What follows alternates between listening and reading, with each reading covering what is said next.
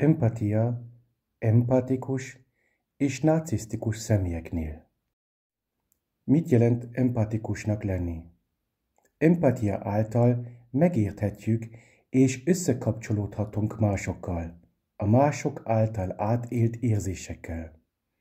Empatikus személyek nem csak a másokkal való kapcsolatban érdekeltek, hanem a másik személy lényében, gondolataiban, fájdalmaiban is képesek belélni magukat bizonyos helyzetekbe és más szemszögből tekinteni azokra.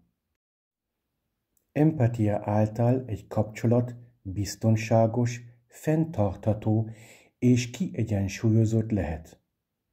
Az empatikus készség különböző mértékekben lelhető egy-egy szemében, de bizonyos határokon belül tanulható is a kognitív empatikus hozzáállás.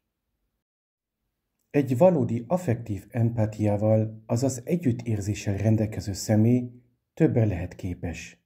Ő át tudja teljesen érezni a másik személy érzelmeit úgy, mintha a sajátjai lennének.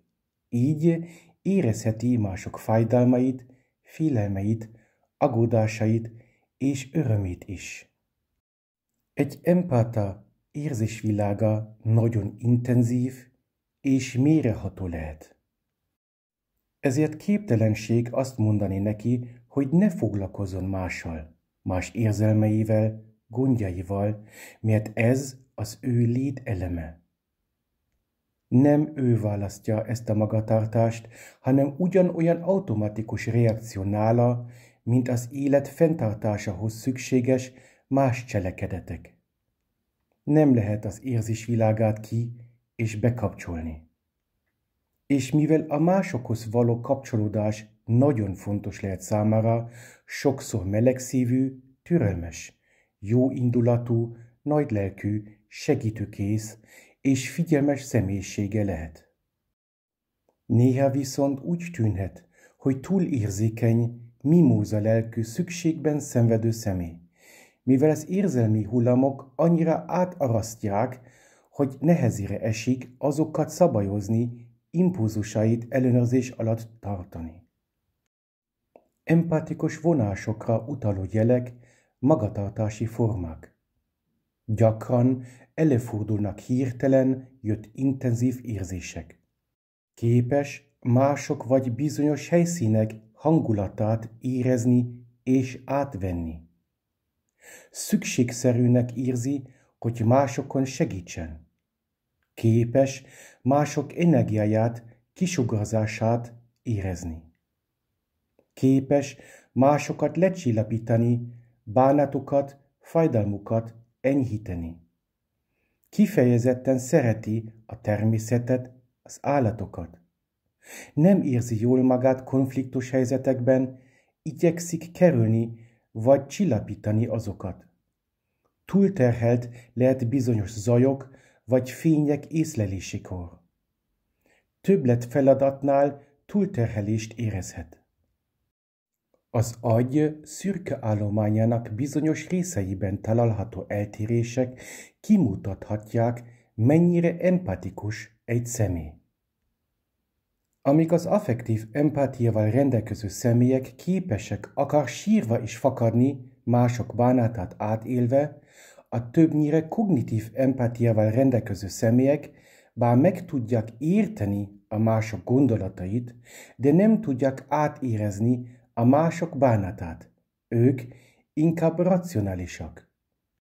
A kognitív empatia olyan, mint egy mű, kifejlesztett empatia, ami leginkább mások működésének megismerésére, kielemzésére, kapcsolatok teremtésére alkalmas. Sok narcisztikus szemében kifinomult ez a képesség, hiszen segítségükre van a mindennapi működésben. Ezáltal megkaphatják, amit szeretnének, kicselezve, manipulálva mások gondolatait, érzelmeit. Ők értik és kitapasztalták az empatiával járó előnyöket, és képesek azt tudatosan használni. Ők nem a személyiségükből fakadóan figyelmesek, nagy lelkűek, adakozóak, hanem mert azáltal esetleg saját érdekeit is képviseletik. Maguk körül tarthatják azokat a személyeket, akikre szükségük van, és a későbbiekben elvárásokkal lehetnek a támogatott személyek iránt. Képesek-e az empáták együttérzést színlelni? Bárkivel előfordulhat, hogy bizonyos helyzetekben bizonyos színlelt módon viselkedjen. Például, ha egy számunkra nem közel álló személynek, vagy esetleg munkatársnak, akit nem igazán kedvelünk, gondjai vannak. Megjátszhatjuk az együttérzésünket. Vagy színlelhetjük az örömünket, ha az amúgy nem túl kedves anyóstól kapunk ajándékba valamit. Az érzelmek álcazása nem minden esetben értelmezően negatívan, hiszen egymástól függő szociális kapcsolatokban kell, hogy éljünk. Igyekszünk jóban lenni a szomszéddal, azért belefolyjunk számunkra érdektelen témájú beszélgetésekbe, vagy igyekszünk pár kedves szót váltani a bolti eladóval, vagy esetleg adakozunk olyan helyen, ahol rászorultakon segíthetünk. Tehát kognitív empátiát bárki, a narcisztikusok és az empáták is gyakorolhatnak. Vonzódnak-e az empátikus személyek a narcisztikusokhoz? Általában azt szoktak mondani, hogy az empatikus személyek vonzák a narcisztikusokat, és az igaz is, hogy sok ilyen kapcsolat van. De túlzás lenne azt állítani, hogy az empatikus személyek olyan sorsra, olyan kapcsolatra vágyakoznának, ami tele van zűrzavarral, megalasztatással, bántalmazással, amelyben uralkodnak fölöttük. Inkább a fordítottja állhat fent, hiszen a narcisztikusok azok, akiknek folyamatosan szükségük van tördésre, figyelemre, kényeztetésre, rajongásra. Ezért vonzódhatnak elsősorban empatikus személyiségekhez. Mivel az empáták szeretik, amikor mások boldogak, azért nagyon szeretnek adni, miközben a náciszok nagyon szeretnek kapni. Sajnos az empáták ilyen kapcsolatban előbb-utóbb kimerülnek, mivel a náciszok nagyon szeretnek kapni, de nagyon nem szeretnek adni.